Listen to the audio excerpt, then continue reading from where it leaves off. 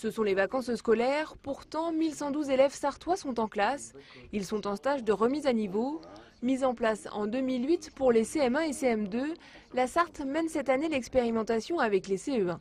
Le CE1, c'est la dernière année du cycle 2 et on doit, après l'évaluation qui aura lieu bientôt, voir si le palier 1 est atteint pour cet élève. Et le palier 1, c'est les fondamentaux en français et en mathématiques, c'est essentiel. Et la réussite des études commence souvent par la maîtrise du palier 1. À raison de 3 heures chaque matin pendant une semaine, les élèves repérés en difficulté révisent les bases, en petits groupes, encadrés par des enseignants volontaires. Loin d'être punis, ils savent pourquoi ils sont là. Nous, il y a des choses qu'on n'arrive pas. Et il y a les autres, ils arrivent à faire.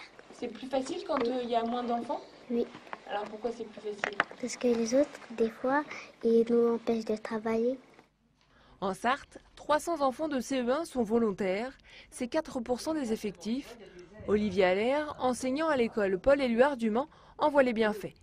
Je les ai quasiment tous faits depuis, depuis que ça existe, donc euh, oui, il y, y, a vraiment un apport à certains, ça, ça permet de les, de les remettre euh, sur, sur, le droit chemin, euh, permet de combler certaines lacunes qu'ils qu avaient. Les objectifs sont les mêmes qu'en classe, mais on, on, essaie de faire ça vraiment plus ludique pour que ça reste quand même aussi un moment agréable pour eux, et, donc que ça soit l'école autrement. Le système semble séduire. En 4 ans, les effectifs ont triplé, passant de 370 élèves en 2008 à plus de 1100 aujourd'hui.